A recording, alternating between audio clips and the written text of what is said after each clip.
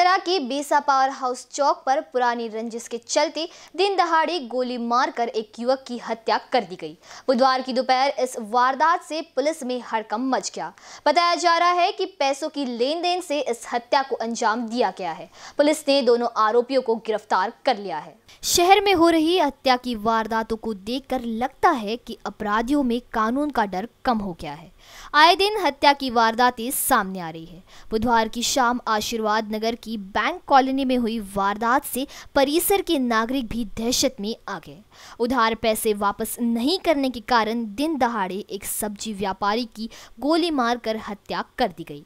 देर रात पुलिस ने इस मामले से पर्दा हटाते हुए दो आरोपियों को गिरफ़्तार कर लिया है। आखिर देर रात पुलिस ने आरोपी सकई सकीर, सकई हसन, आशीर्वाद नगर निवासी और सकई इमरान सईद, जमील टिमका मोमिनपुरा निवासी को हिरासत में लिया है। दरअसल सईक, सकीर, सईक हसन से मृतक ने डेढ़ वर्ष पहले सब्ज़ी के व्यवसाय के लिए छह लाख रुपए उधार लिए थे और आरोपी बार बार उससे उधार लिए पैसे को मांग रहा था, परंतु मृतक पैसों को देने में आनाकानी कर रहा था। दोपहर को भी आरोपी अपने दोस्त सईद इमरान सईद जमील के साथ पैसा मांगने गया था। तभी उनका आपस में विवाद हो गया, जिसमें आरोपी ने अपने पास की रिवॉल्वर से गोली चलाकर उसको मौत के घाट उतार दिया। और फरार हो गए। देर रात पुलिस ने इन दोनों आरोपियों को हिरासत में लिया है।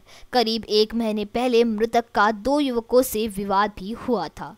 पुलिस ने उन दोनों से पूछताछ की, लेकिन घटना से कोई लेना देना न होने की पुष्टि हुई। हाँ वो जो कल रात को जो फायरिंग से एक आदमी की मृत्यु हो गई थी, शक्करदरा पुलिस स्टेशन के हद में तो उसमें दो आरोपी जो है उनको अरेस्ट कर लिया गया है। और अभी आगे की जाँच चालू है।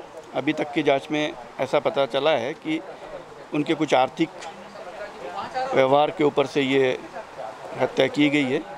लेकिन फर्दर इन्वेस्टिगेशन में और पता चलेगा कि, और कि इसकी और कोई वजह थी या केवल यही एक वजह थी। चलो थैंक यू